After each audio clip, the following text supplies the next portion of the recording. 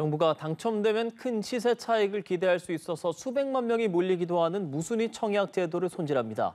과거처럼 주택 소유 여부와 거주지를 제한하는 방안을 검토 중인데요. 부작용은 없는 건지 박효준 기자가 알아봤습니다. 지난 7월 경기도 동탄의 롯데캐슬 아파트 한 가구가 무순위 청약에 나와 무려 294만 명 넘는 역대 최다 신청자가 몰렸습니다.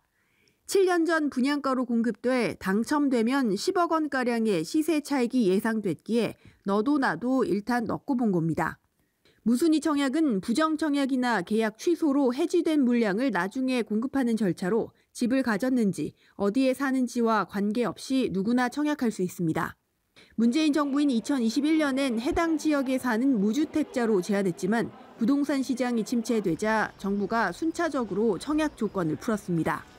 하지만 올 들어 시장이 회복세를 보이자 로또 청약 열풍이 재현됐고 올 초부터 8월까지 전국 무순위 청약 신청자는 625만 명으로 작년 연간 신청자의 5배를 넘었습니다. 정부가 주택 소유 여부와 거주지를 무순위 청약 요건으로 다시 검토하고 나선 이유입니다.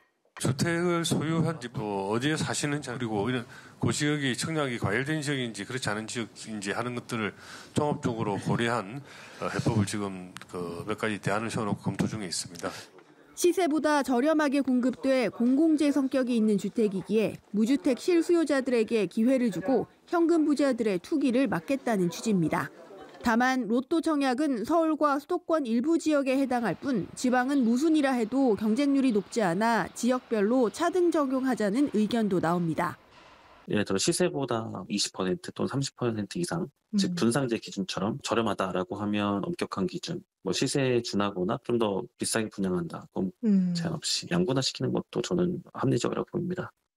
일각에선 어차피 낮은 당첨 확률의 청약까지 지나치게 제한한다는 지적도 있어서 정부는 무순위 청약의 맹점을 종합적으로 검토해 결정할 방침입니다. 연합뉴스 TV 박규정입니다.